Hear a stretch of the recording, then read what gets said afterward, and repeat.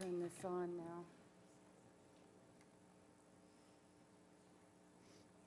Okay, is it working? It's not working. Is it working now? It's not working, okay. Tell me if it gets too loud. Um, thank you for that lovely introduction, Rebecca. Um, I feel the same way about your work. I, I bring you all welcome from New York City. Who would have thought that um, this week when I'm coming here would be the moment when our two cities would be as affectively united and politically united as they are. Um, I do think of Ferguson as the epicenter. Still, I think New York has learned from Ferguson, and I do think this is a revolutionary moment. Ferguson is like Birmingham. I was thinking of it as like the role that Birmingham played in the civil rights movement as a catalyst and a model because primarily because of the persistence of the activism around the event. Because so often these events happen and there is a certain period of time in which there is activism and then it dies down. But somehow this community has had the wherewithal and the resources to maintain the level of attention to the issue. And that has been a model for the country and uh, I really think, and I'm, and, and, in some ways, I am, I'm glad, as, as horrific and as much cursing as has happened in my household over the last week, a few days about the, the Staten Island verdict, in some ways I'm glad because it shows that it is a national issue. This is not a part of the nation um, as we thought in regard to the South, or we might think about in places like Ferguson. This is a nationwide um, phenomena of uh, police murders and the police and you know and the police are functionaries right? They're means. They're they're employees. So it's not the police. So i think what's what's been happening over the last year because of the activism here is a sustained focus that begins to enlarge out from the police to thinking about the systemic problems. So now we're talking about grand juries um, but we need to we need to expand it even further. Um, I also want to apologize for sending my paper in so late and missing yesterday um, when they had hoped I would be able to come. I have I teach on late Thursday afternoons, and I couldn't cancel my class yesterday because I had missed two weeks of class earlier this semester because I was on a grand jury. in Brooklyn, New York, which was a very interesting experience. And two, in about two and a half weeks, we heard 26 cases. I am happy to report the Brooklyn grand juries are active. We asked questions, we pushed back, we did not rubber stamp all the cases that the prosecutors wanted us to rubber, to rubber stamp. But clearly, what happens in a grand jury is you spend about maybe you get maybe two hours of testimony at best for the indictments that you're asked to um, pass judgment on. I mean, it was very interesting. The other thing that I found interesting about the grand jury in Brooklyn was that although we heard every kind of case from murder on down, we had three hate crimes, but the petty anti-crime that we heard in terms of property stuff, it was, um, it was pickpocketing, it was, um, it, you know, some guy was, was making facsimiles of DOT license plates that you could buy if you went to his uh, nurses scrub store uh, in a certain part of Brooklyn. I want to get one of those actually, because if you have a DOT license plate, you can park anywhere you want in New York City. How good is that? You know, and so he's selling these things for $200, and so this was a big crime. And then uh, there was another uh, crime of a construction site somebody had broken into and was stealing some copper pipes. If you watch The Wire, you remember Bubbles. This is a Bubbles crime, right? Bubbles was stealing the stuff. So these are poor people's crimes. And you think of New York, Wall Street, the banks, right, in which 7 million homes have been foreclosed since 2008, $164 billion from black and brown communities, according to United for a Fair Economy, that was lost in 2008. The crimes in New York, and this is what we're, we're spending our attention on, it just boggles the mind. So that's why I, I, was, I was late and I've been sick because um, I was out on the streets last week. I, uh, I want to start with a, a, personal story too.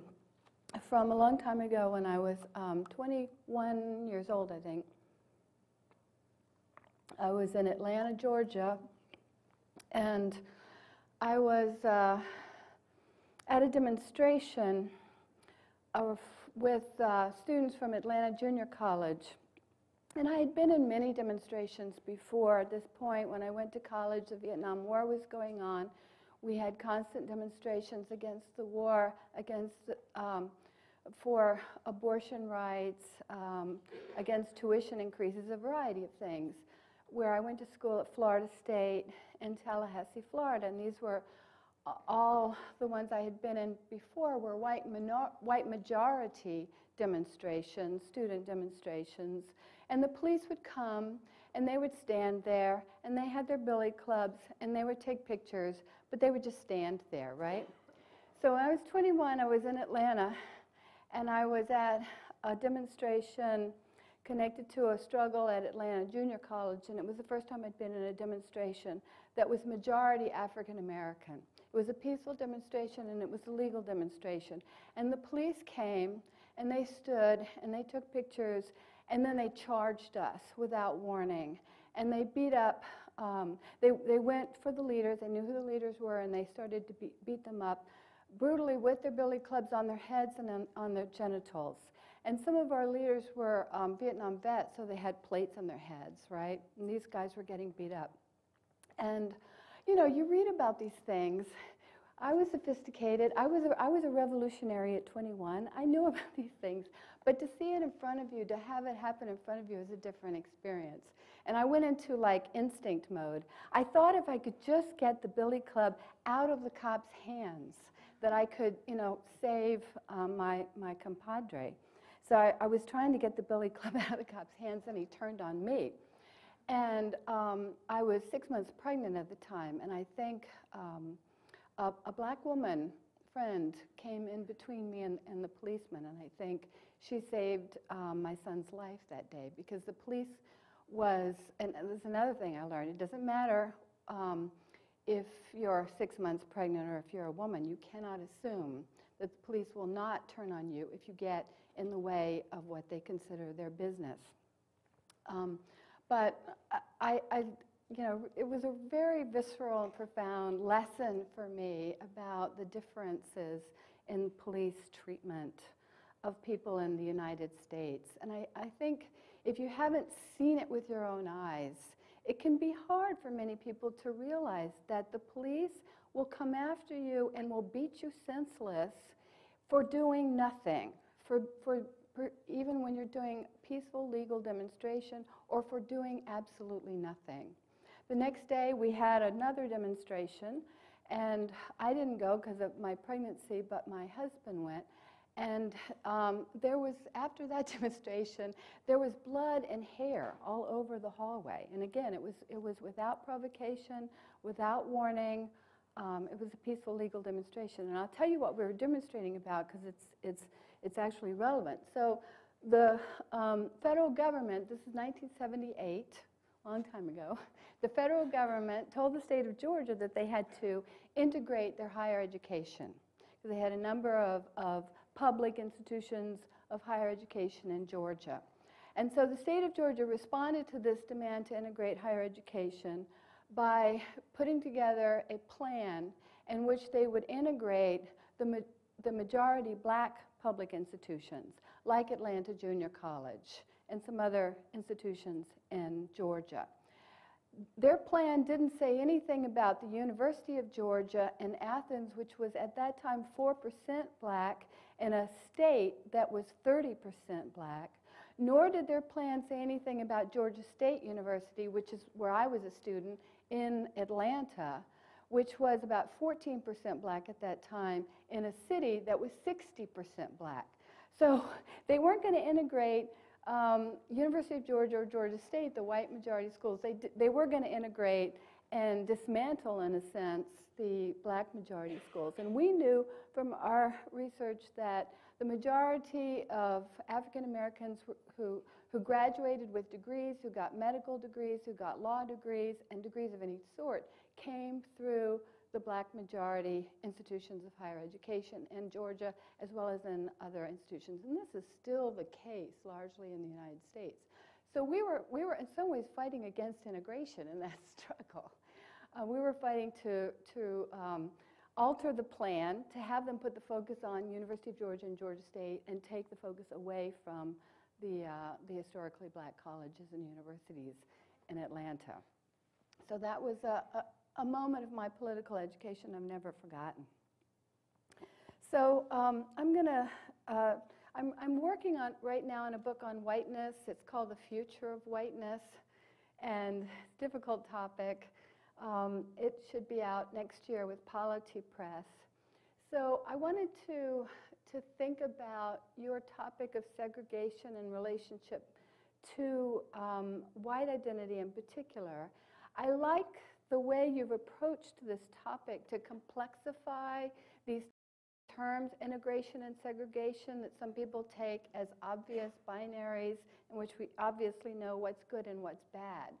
I think that's not the case. And I'm not sure that we can do a unified analysis of the politics of integration or the politics of segregation across all domains, right, across all contexts.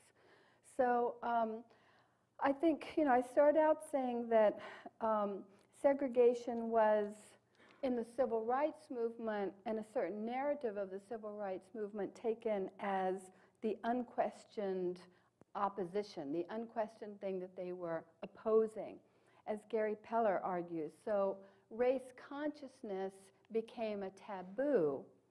Um, integration, which was the opposite of segregation, was taken to be the goal, the moral preference, to involve color blindness, and to bring about tolerance and humanity or harmony. And segregation was taken to signify a kind of embattled opposition whereas integration symbolized peace and goodwill. Now, of course, the reality is, I think, that that narrative of the civil rights movement is off on a couple of points. Um, one is that it's not quite clear that integration was the unified goal. What was the goal was a set of qualitative goods that protesters wanted. They wanted quality schools without violence, they wanted access to good housing. They wanted fairness in the labor market as well as fairness at the bank loan office. There's a, you know, Hannah Arendt, the great philosopher, wrote about this movement and was very critical of what she took to be African American strivers who wanted inclusion. And um, a recent book by Kathryn Gines on Hannah Arendt, which is a great book I recommend, shows that Arendt was wrong. In fact, what um, the African American protesters wanted was a good education for their children more than they wanted inclusion. So the, the regulations of apartheid enforced in public transportation and school systems were obstacles to the real goods that people wanted. And in fact, leaders regularly downplayed um, integration demands. There's another great book by Danielle McGuire, The Dark End of the, of the Street, that talks about how civil rights leaders decided very purposefully to, to downplay in their narrative any actual integration demands for fear of eliciting ideas about the possibility of relationships. So much so that the rapes of black women by white men, that was a regular part of Jim Crow life had to be set aside because the code word for races at this time was amalgamation. That was one of the, the, the words that was used to signify miscegenation or sex between the races, and no civil rights leader argued for amalgamation. So it's, it's not really clear that integration was a major end of the movement. What of today, though? I know you, in the title Modern Segregation, I think you want to bring it up to the present, right? Today, um, there is a renewed argument by some liberal thinkers that we need integration to reduce racism and income inequality, and that segregation is the key obstacle. um, a book by a colleague of mine in philosophy, Elizabeth Anderson, is titled The Imperative of Integration, and she marshals a lot of, of uh, evidence that integrated neighborhoods have less crime and less violence and less poverty to argue that integration is, is a necessary condition, may not be a sufficient condition, but it is a necessary condition to um, progress. And Randall Kennedy has made um, similar kinds of arguments. So I, you know, I'm not so sure. I disagree um, with this, uh, this view. So I want to complicate that a little bit here. Um, I want to give an argument that makes sense of the desire for segregation in one's choice of neighborhoods and relationships, and a possible partial explanation of its persistence. Now, this argument is not meant to justify segregation, right? So I'm trying to explain it, understand it, um, understand its motivations. But um, it's not necessary, it's certainly not an argument that would justify any kind of coerced or forced segregation. Um, but I think it will complicate the picture. And then after that, I'll, I'll um, look at how the recent events here and in Staten Island um, and their concomitant examples of epistemologies of ignorance might inform and direct our analyses, because it's a very difficult moment. The segregation of our private spaces and public spaces and public media is clearly responsible for grand jury verdicts, such as we've just seen, right? People's inability to understand um, the realities of police conduct in this country, to frame um, events uh, in, in, uh, in useful and adequate ways.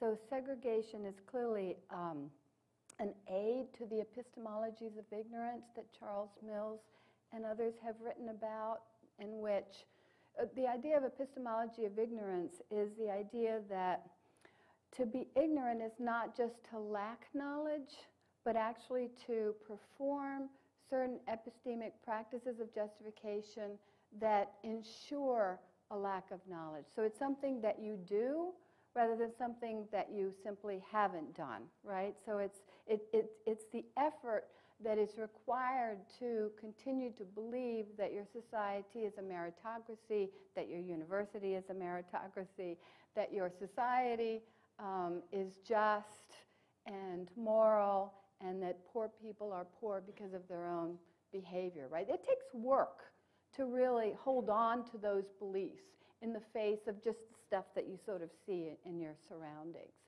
And so the, that's the idea of the epistemology of ignorance. And clearly, segregation is an aid to epistemologies of ignorance. So that's going to complicate my analysis in a way I hope you'll help me think through.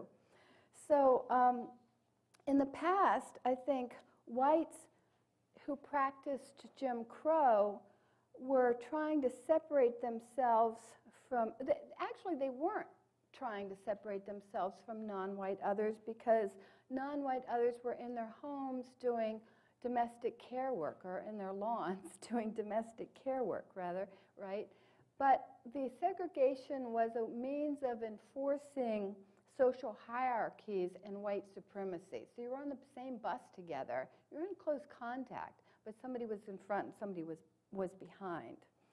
But it seems today that segregation practices are motivated not by the desire to enforce a certain kind of social hierarchy, but by a, a, certain protectiveness, a sense of danger and threat and white vulnerability in the new climate of majority and minorities. And everybody now knows that by 2042, the United States will be a majority minority nation.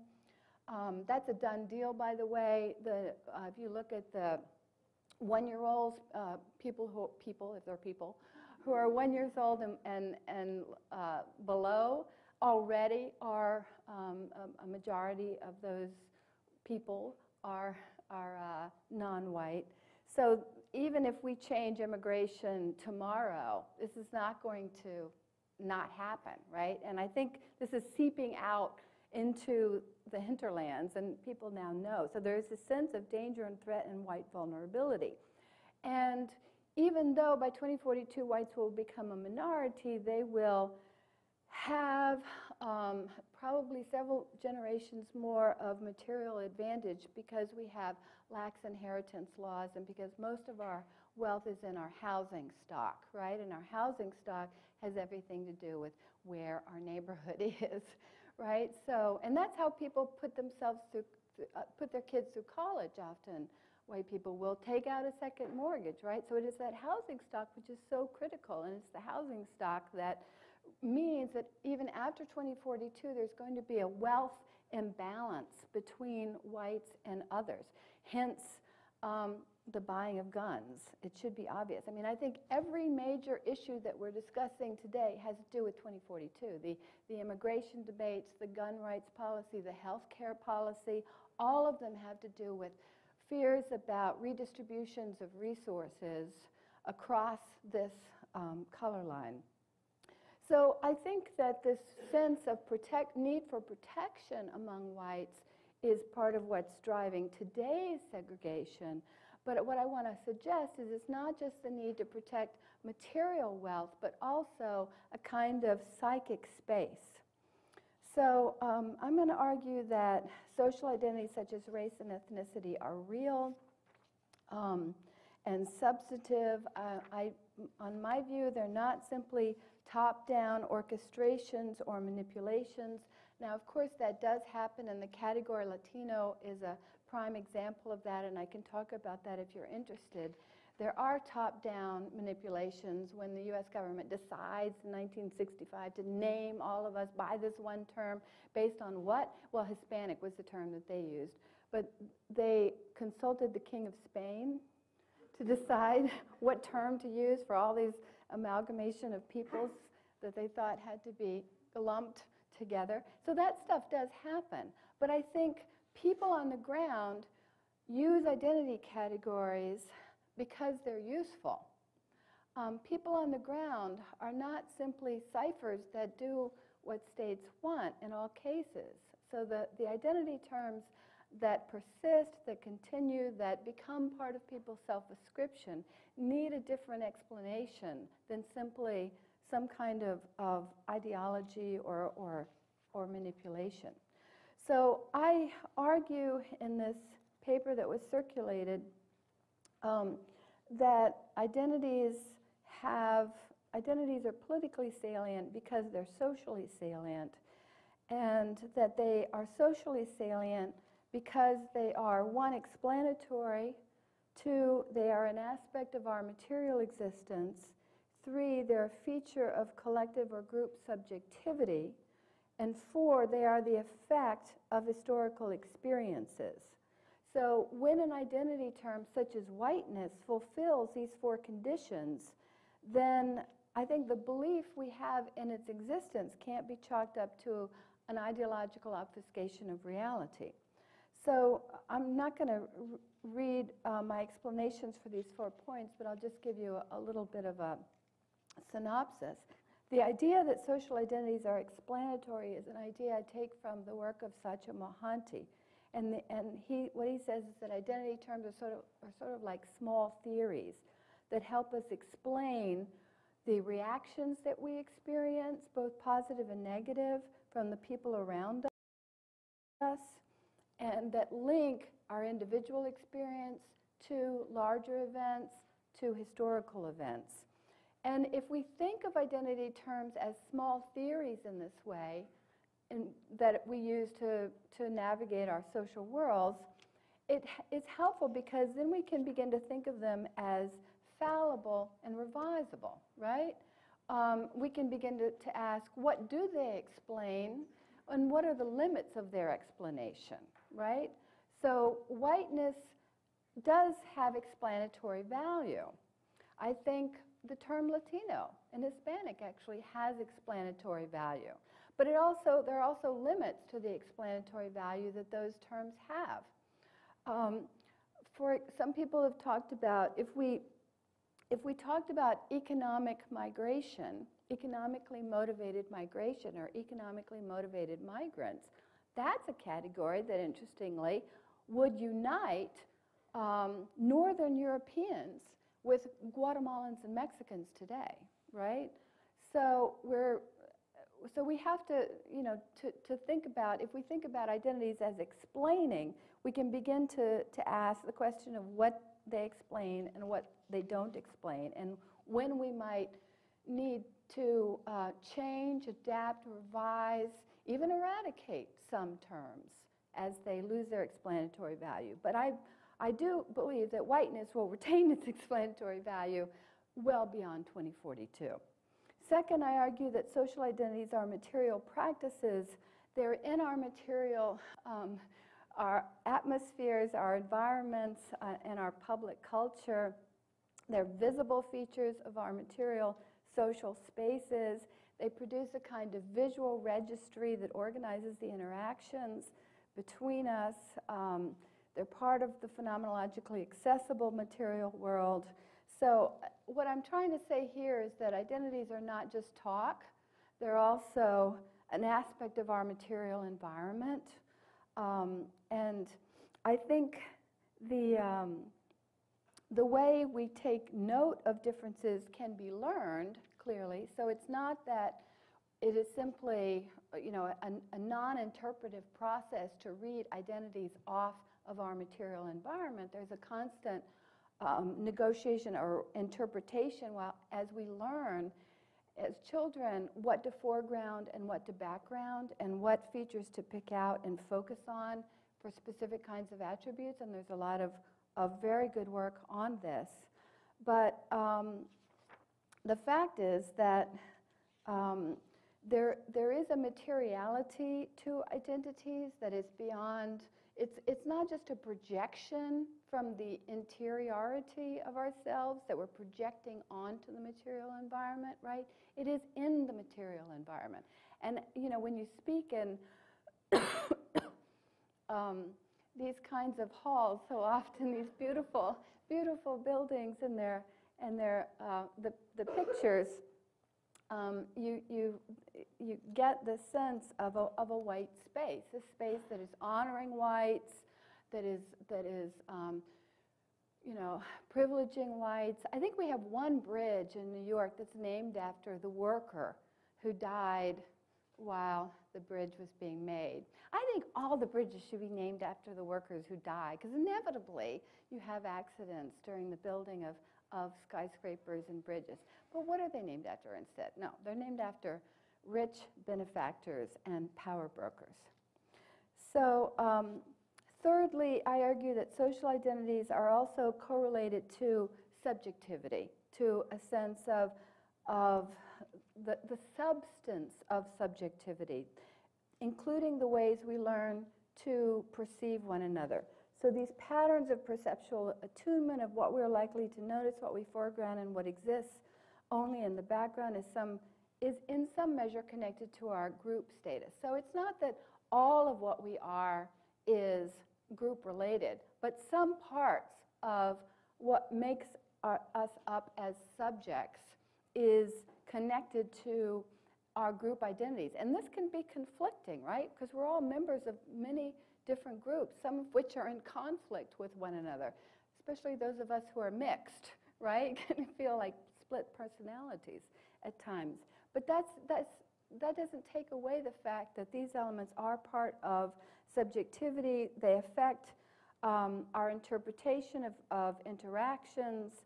They affect our baseline knowledge or what we know or, or believe. This is what Sonia Sotomayor said that got her into so much trouble and almost not appointed to the Supreme Court.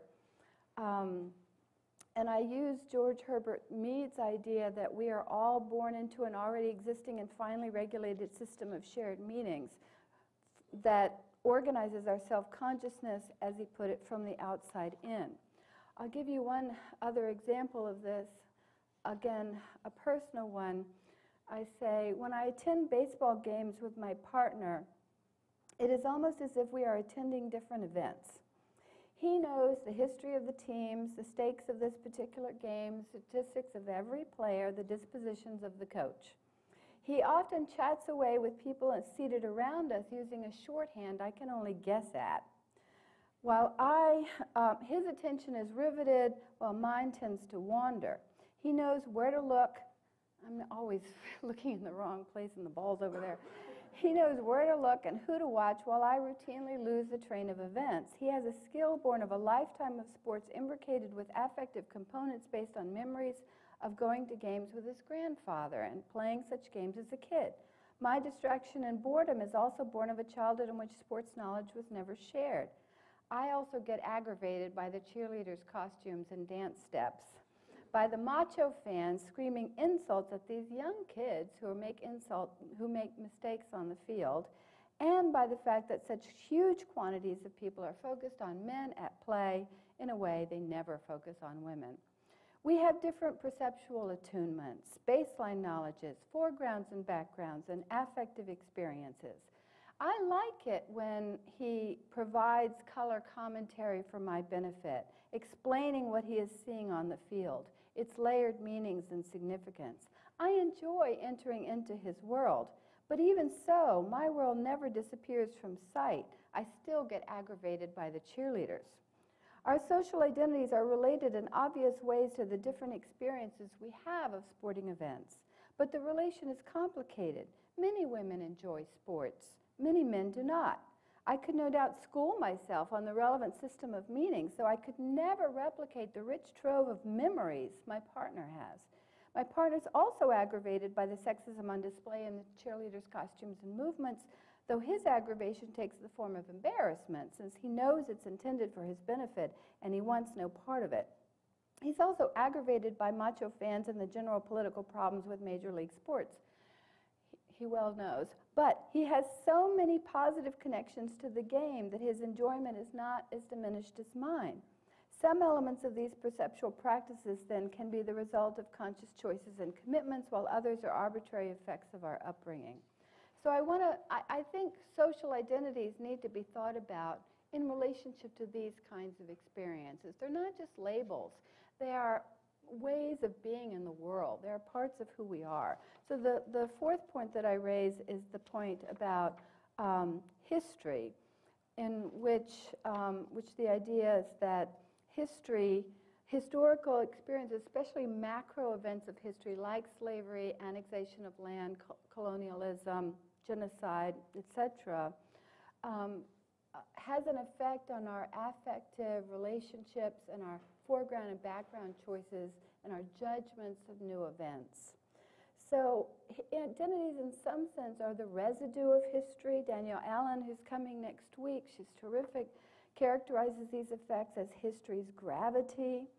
And I think that um, despite the complexities of any given individual's life, this kind of genealogical connection produces in all of us a set of affective and cognitive responses to specific events, stories, and narratives that are somewhat different from others. So, long story short, what I'm trying to argue in this piece is that social categories of identity are not simply foisted on us from above, but are to some extent organically produced out of such historical events.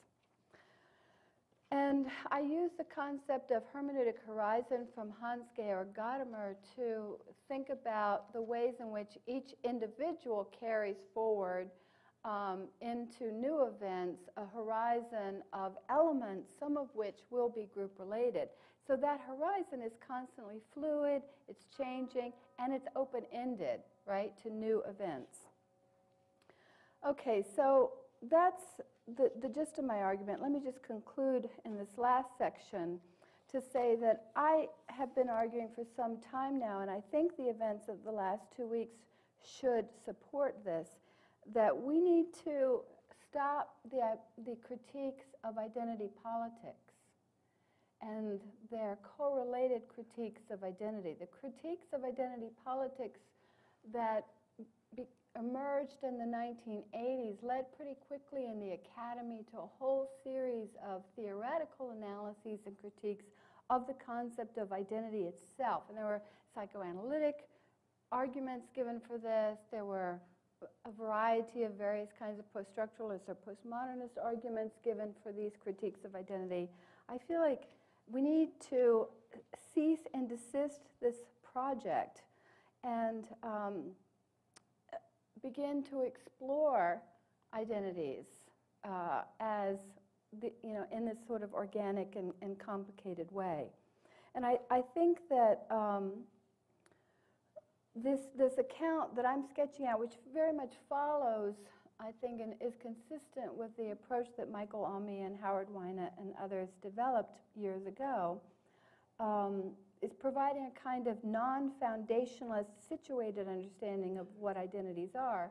And the project is to come up with constructions of identity that would be resistant to the legitimate concerns about identity and the leg legitimate concerns about um, certain formations of identity politics, overly homogenizing differences within, for example, but without ceding ground to the idea that identity terms are always politically problematic or, or some kind of simple mistake. Social identities are organic, historical, essential to understanding the political flows of affect. They have epistemic salience in both a good and a bad sense, right? So they can um, I, you know, I, I'm a Hegelian, basically, and to some extent, knowledge always requires confirmation from some intersubjective activity or some public sphere.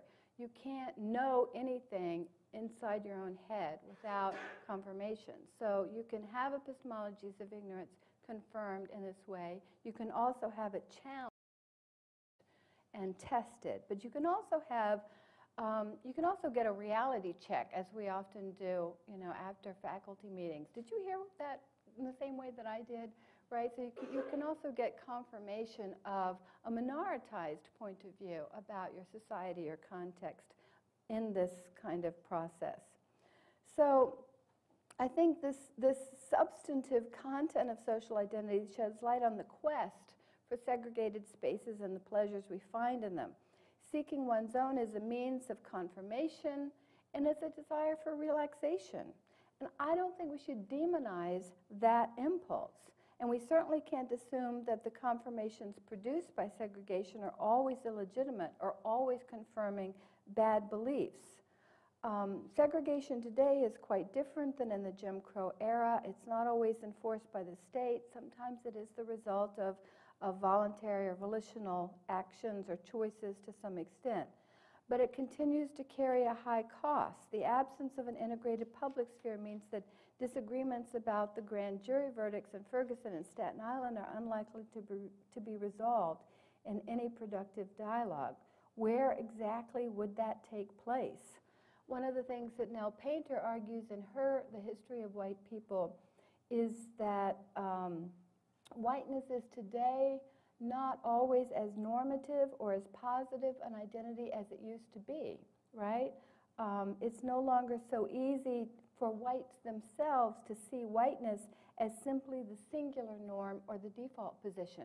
And that, that's the result of not, it's not just sort of living alongside non-white others, because that happened throughout um, the entirety of our history but it is having the presence of non-white subjectivity in the form of cultural expressions in the public sphere in which you realize that the way you might be viewing Ferguson is not the way everybody views Ferguson.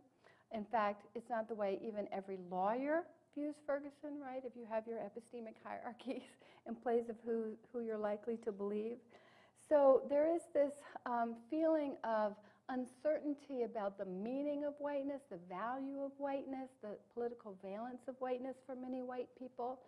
And it is becoming increasingly difficult for whites to find spaces in which they will only get confirmation, because even if they go into a gated community, you turn on the television or the radio and you're going to hear a different point of view.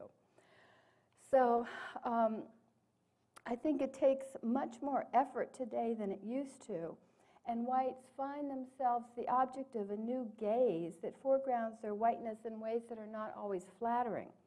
This creates new motivations, and they're harder and harder to, to find. North Carolina and Kansas are two states that have experienced so much Latino migration that they're shifting from red to blue. Um, And the other trend line, the last thing I want to point out is that the other trend line that's important to grapple with are the growing political disparities among whites themselves. Today, perhaps more than ever, whiteness has a variegated relationship to avowed racism. About half of whites consistently in research surveys um, agree, about half of whites agree with most people of color on many issues related to race. Not all issues, but many issues related to ra- race, including the claim that anti black racism is still a large problem, that racism infects the criminal justice system, that immigrants are treated unfairly. And um, the, the, uh, I don't think there's really good statistics that have come out in, in the, the last two weeks on white reactions to Ferguson and, and Staten Island. It's still early days yet. But the ones that are coming out are foregrounding the differences between white and African American in particular um, views. And there are, there's like a, a 20 point gap in some cases. But here's what I want to um, remind people of alongside that information. Only, according to Pew Research Center data recent, only 48% of whites believe that a lot of progress has been made on racism. That leaves 52% who believe either that little progress has been made or no progress has been made. 35% of whites have a great deal of confidence in the police, and this was just a very recent survey. There's more than a 20 point gap in this percentage than for black Americans, but the interesting point remains that 65% of whites disagreed with the claim that they have a great deal of confidence in the police. In fact, only 36% of whites say they have a great deal of confidence that police officers in their community, in their community, will not use excessive force on suspects. So I think we focus too often on the gap between white and black and brown and miss the growing gap among whites. The nation is increasingly politically polarized on a number of critical issues from guns to health care, and it's that polarization that's mainly due um, to the polarization occurring among whites themselves, right? So it's that when we talk about the, the national polarization, it's not really a polarization within communities of color, it's a polarization among whites that's determining that trend.